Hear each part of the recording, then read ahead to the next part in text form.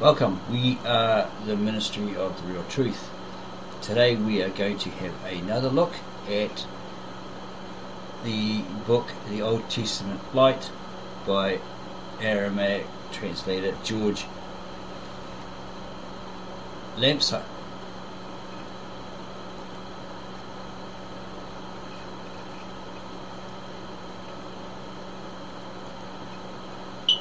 Old Testament Light, a scriptural commentary based on the Aramaic of the ancient Peshitta text. That would be the original ancient Eastern Syriac Peshitta, translated by George M. Lamsa, a native born Aramaic speaking translator. From Syria.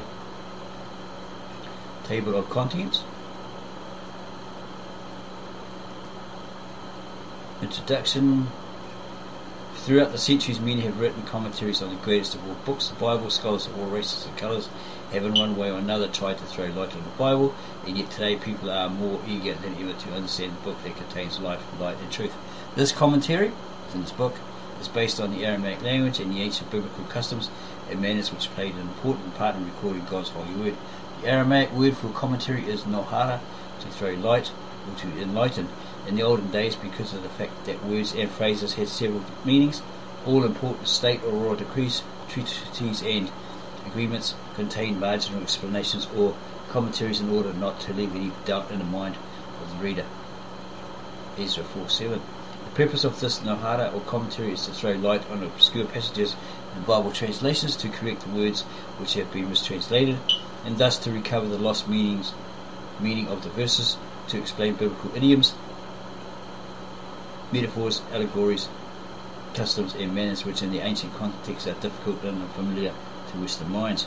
But simple for the Easterners to understand. After all, the Old Testament was written in first in Semitic languages for Semitic people centuries before Greek, Latin, and present European languages were born. The New Testament was written for the descendants of the same people, and the authors of the sacred literature were moved by the Holy Spirit. They lived in a world of unseen realities. The Western Bible translators and commentators have done their best in translating ideas from the ancient languages and the style of writing in which they were first written and preached into modern expressive and changing languages of our days. This is not a verse by verse commentary. Hundreds of comments which have been written on the obscure passages Uh, and mistranslations have been clarified through a direct translation from the ancient Aramaic Peshitta. Peshitta means clear, sincere, straight to an original of the writings were called Peshitta because they were clear in the original setting. Text. The clear, the simple, the true text. This is a book for the ministers, students of the Bible, and laymen who are eager to understand the meaning of the scripture and the ancient customs and manners which constitute the background of the sacred book. Some of the comments are answers to hundreds of letters which come from sincere men and women. And it continues.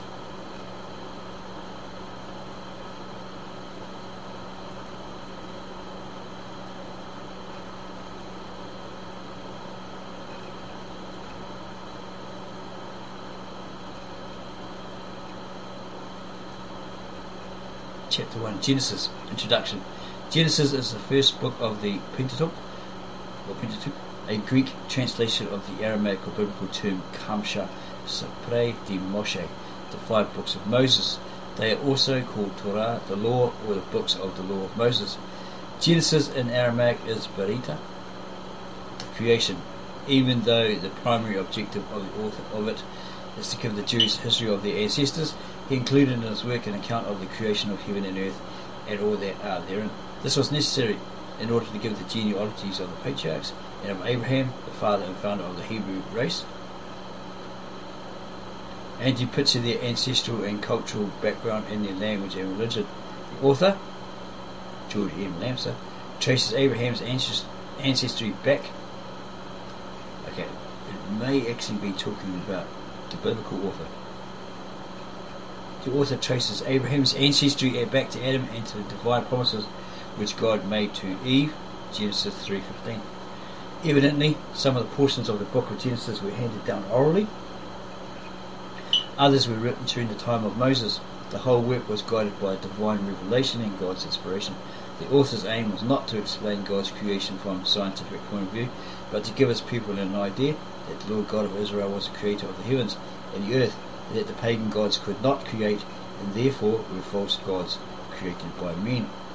There are two accounts of the creation in the book of Genesis. The first is a spiritual account.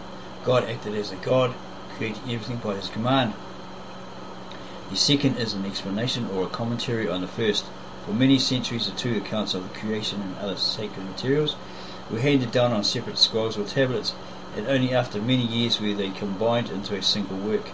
Moreover, some of these accounts were written by different scribes. Marginal notes were often incorporated into the text and copied by later scribes. For example, the prayers of David, the son of Jesse, are ended, Psalm 72:20. This note was written to facilitate the reading of the book the burden of Babylon, which Isaiah the son of Amos did see, Isaiah 13.1. The burden of Moab, Isaiah 15.1. The burden of Damascus, Isaiah 17.1. And many other such instances are scribal notes which were copied into the book. Eternity. In the beginning God created the heaven and the earth. Genesis 1.1. Well, in the translation of the original manuscripts by Victor N. Alexander, the Brita and the Brita from the Ishana Atika Sapaya, the language of God, which he spoke to Adam and Eve in the garden. It actually says, in the beginning, the Muta, or the manifestation of God, created the heaven and earth. Who is that manifestation? He who was hidden, not yet revealed, and then revealed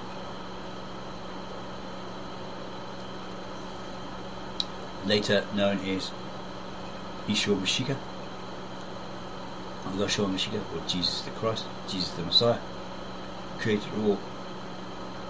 In the beginning, as the beginning, He created all. This should read God created the heavens and the earth in the very beginning. God is the subject of the sentence, and the heavens and the earth are objects. The author states that the heavens and the earth were created from the very beginning. That is before the sun and the moon and the stars were created. In other words, the heavens and earth were created before time. God alone can reveal to man how and when heavens and earth were created.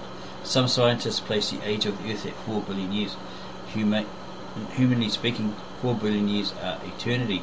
Many aspects of the creation will remain a secret, which man will never be able to unlock or reveal.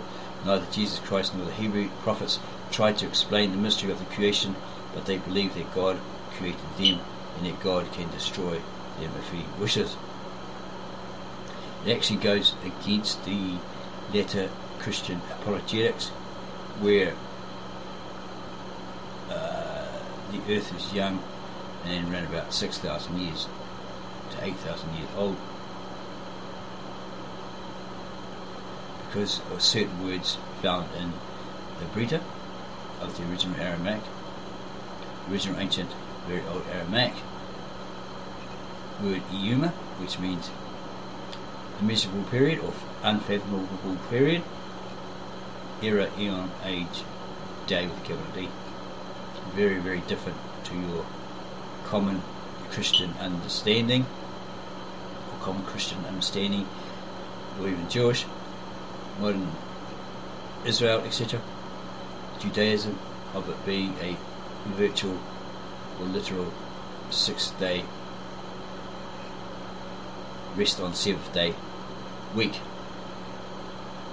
Essence without form, and the earth was without form and void, and darkness was upon the face of the deep, and the Spirit of God moved upon the face of the waters. Genesis 1 2. The earth may have suffered some catastrophic disturbances as a result of inner stresses such as volcanic eruptions and earthquakes, the surface of the moon reveals such marks of volcanic disturbances. Be that as it may, seemingly the earth was devoid of the forces and equilibrium which make order and life possible. So from chaos came order. The first order might have been overthrown, just as God overthrew Sodom and Gomorrah, Aramaic Amorah, in the days of Abraham. Moreover, the formless matter may have been in existence ages before order and life appeared upon the face of the earth. The creation of the firmament, the sun, moon, star, and stars made order and time and life possible. In other words, we may conclude that at the outset the earth was not capable of producing life and lacked precision and harmony. Behold, the Lord shall destroy the earth and lay it waste and turn it upside down and scatter its inhabitants. Isaiah 24 1. I beheld the earth, and lo, it was without form and void, in the heavens, and they had no light. Jeremiah 4:23, because he had that vision of what the earth was like at one point. It was beautiful, etc. And then some catastrophic event occurred for whatever reason, and God destroyed it the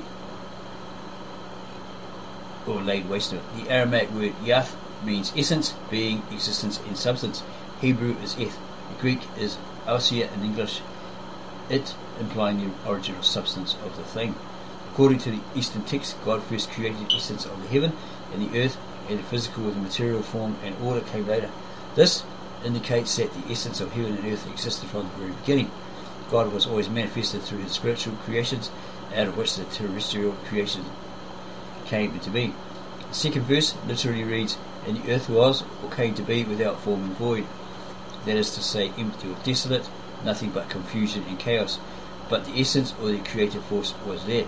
The Aramaic ta of bo, boho, and Arabic bahia means emptiness. That is empty of form but not lacking in essence. The essence is spiritual, eternal, and indestructible. Temporary and destructible, and depends on the essence which governs it. Light. In God said, Let there be light, and there was light. Genesis 1 3. Bahara. Shining. Light in this instant means enlightenment. This is the light in the knowledge of God and moral law. Darkness in Aramaic is symbolical of ignorance, superstition, and evil. For many centuries, man felt the presence of God or of a great governing force, but he knew little or nothing about his being, the natural forces around him, and the moral law. The author of Genesis tells us that the sun was created on the fourth day, and yet there was evening and morning on the previous days.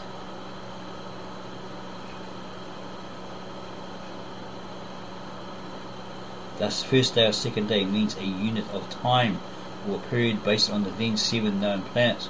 The sun was created on the fourth day after the trees and grass were created. So again, the author of Genesis tells us that the sun was created on the fourth day, and yet there were evening and morning on the previous days. Thus, first day or second day means a unit of time. So that could be in relation to the Aramaic word Iuma, which means um, immeasurable period, era, eon, age, day with capital D. The sun was created on the fourth day after the trees and grass were created. So here, unit of time would mean there was no time. It's infinite time. Not no time as we know it. Just infinite time in space. Then again, we must remember that the early man knew nothing about our present calendar of 365 days. Uh, the Egyptians supposedly created it. For many centuries, the moon served as the only yardstick for measuring time. Nomad people still rely on the moon for their grazing and migrations. The Hebrews and the Muslims still use the lunar calendar. They might use the lunar solar calendar, whereas the Roman Catholics, etc., just use the lunar calendar. Is it the solar? Yes, solar. They use the sun. It's based on the uh, the calendar is based on the solar sun not a lunar, solar, is the ancients said. The present calendar was developed only after man's scientific knowledge had advanced. That is, when the Babylonian Egyptian scientists discovered that the sun and not the earth was the center of our solar system. This, this discovery was made more than 20 centuries BC, long before Abraham left Ur of Chaldea.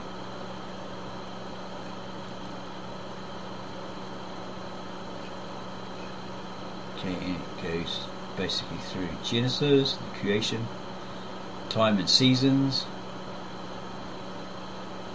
time and seasons. And God said, Let there be lights in the firmament of the heavens to divide the day from the night, and let them be for signs, and for seasons, and for days and years. Genesis 1.14 Prior to the creation of the humans on earth, time was non-existent. Without the creation of the humans and the earth, there would have been no events, no periods, no phases of the moon whereby to reckon time. Time and space came into existence during the creation. Time, days, and years were made by God for man's convenience. In God's eyes, a thousand years are but a, as yesterday. So, in His eyes, at that point, possibly, a day was like a thousand years. But to man, when man finally came along, the day was basically, let's say, I could say, 12 hours of light, 12 hours of night. The psalmist says, A thousand years in thy sight are but as yesterday when it is past, and as a watch in the night. Psalms 94. That is God, being from everlasting to everlasting, is not subject to time and space. So he wasn't looking at his wristwatch saying, okay, six o'clock, uh, I need to uh, plant these trees, etc., etc., by uh, 6 p.m. So he's not subject to time or space or time and space. The term Zabni, Zabne, time here means periods. The term Atwata, signs, refers to the stars and planets which stand in the sky like landmarks on the earth. Shana, Year is a unit of time. The Aramaic word for change is shani. Shana denotes a change from one period or season to another. The biblical day was made up from made up from sunset to sunset. According to the Hebrew calendar, a day is a period from one sunset to the next. Undoubtedly, this division of time was made after the sun was created and its movements studied by man. All of God's works was finished in six days. That's what he is saying. That's what those the uh, that's what those Americanized English Bible versions are saying. But here he says, note the week is not mentioned in this account of creation. Weeks and other subdivisions in time were made later. Night watches and hours were not known until day and night were further divided and a first calendar was instituted first meaning, mention of a smaller unit of time occurs in the Bible during the time of King Ahaz. It was known as a degree on the sundial, 2 Kings 2010. The term hour first occurs in Daniel 3.6. Seasons were familiar to man from the very beginning, just as they were familiar today to savage tribes and to the illiterate nomads who have little or no knowledge of calendars. They rely on the seasons to mark the passage of time. The sun, moon, and stars were created for days, months, and seasons, but it took man a long time to discover their movements. It took man many centuries before he discovered that the sun is the center of the universe. In the ninth century after Christ, an Assyrian bishop, Mar Ishak, wrote a book in which he warned the Christians against the teaching of the Chaldean astrologers that the sun is the center of the universe. The Hebrews believed the earth was the center.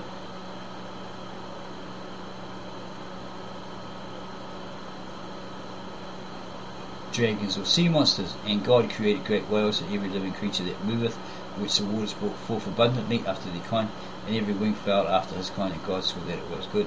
Genesis 121. Tanina means dragon, metaphorically, a devil. It's metaphorical.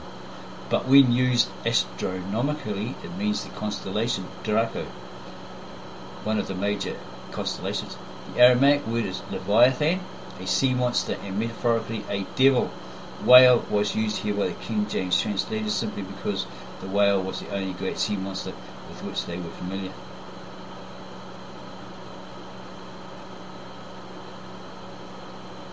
Image. And God said, Let us, two or more, make man in our image, it's obviously two or more, after our likeness, and let them have dominion over the fish of the sea, and over the fowl of the air, and over the cattle, and over all the earth, and over every creeping thing that creepeth upon the earth. Genesis 1.26.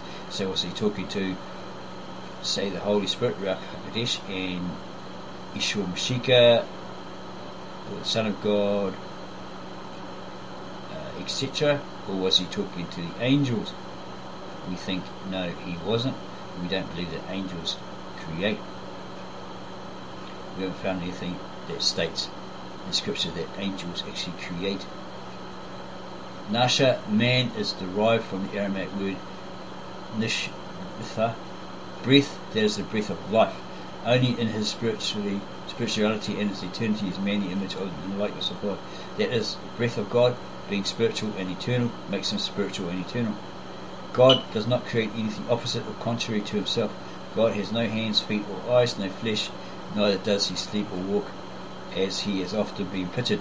He is often reduced to human terms in order that man may understand him. And of course, because he's spirit, right? Originally spirit, in spiritual form, spirit form. So again, God does not create anything opposite or contrary to himself. God has no hands, and feet, or eyes, no flesh, neither does he sleep or walk as he has often been pictured. He is often reduced to human terms in order that man may understand him. So perhaps people like John in Revelations, who saw one seated on, seated on a throne, he saw his hands and his feet, etc., and his clothing, was able to see that to verify to him that God exists in the kingdom, right? In the heavens. Image in this instant means likeness or resemblance. God has been portrayed as having hands, eyes, ears, feet, and nose in order that man may understand him in relation to himself. God's image is spiritual, that is characterized by intelligence and knowledge. Earthly man is temporal and mortal, but the Spirit of God which dwells in him is immortal and real. Moreover, man is conscious of his Creator and knows evil and good. None of God's other creatures are endowed with his knowledge, nor are they governed by moral law.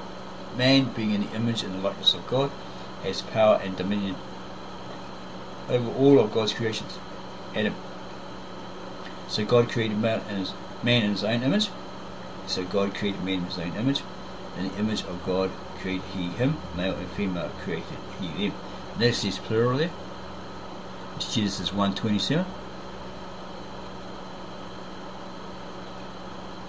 He created he him, male and female created he them. So there's two genders, two sexes. He created one, a male, and two, a female. Or male and females. Males and females. In the preceding verse, the name of the man is called Nasha, derived from the Aramaic word Nishmatha, breath. That is the breath of life, the Spirit of God which dwells in man and which makes him in the image and the likeness of his Creator. In verse 27, the term man is used collectively meaning humanity or mankind. Adam means red soil. That is a man formed out of the ground. According to the first chapter of Genesis, both Adam and Eve were created spiritually by the Word of God just as He had created all other things. We just come to our mind that uh, possibly in the Brita, He doesn't actually, maybe He does. He created Adam the first Adam, the pre-Adamic, the Neanderthal man, and then he creates the second man, right? Adam, and then Eve. Okay. Adam means red soil that is a man formed out of the ground. So yeah, this is a difference because the other in the original ancient very old Brita of the Lishana Articus prayer was made in God's image. Not of the ground or of the soil. According to the first chapter of Genesis, both Adam and Eve were created spiritually by the Word of God, just as He had created all other things.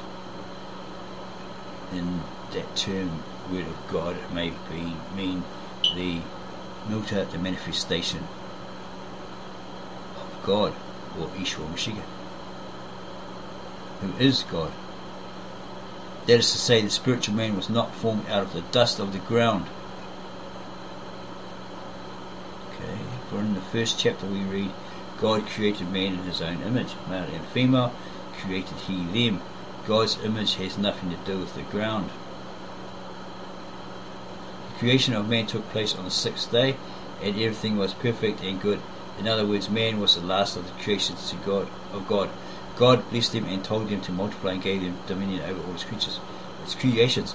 Thus, the first chapter gives us a true picture of creation and of God as creator. Here, God gives commands and everything is done according to his will. whereas in the second chapter, God works with his hands like a man. The second account of the creation is a commentary on the first chapter. George M. Lamsa believed it is the work of a later writer who tried to explain man's creation in a symbolical manner so that the people might understand it. This account is old and it has a spiritual value. It was placed next to the first chapter simply because it is commentary on it. Some people believe the second account of the creation contradicts the first, but this is not true. The second account is written figuratively from the human point of view in order to explain the first account, which is spiritual and in which God works as God and not as man. The reader must remember that the Bible is a library containing hundreds of writings written at different times by different authors. No inspired Hebrew writer could have thought of God literally mixing soil and forming a man out of it. But Hebrew prophets often portray God as a man planting vineyards or trees or doing other manual work. Here's the seeds. Yeah, it's kind of interesting because he's saying that the first Adam created was God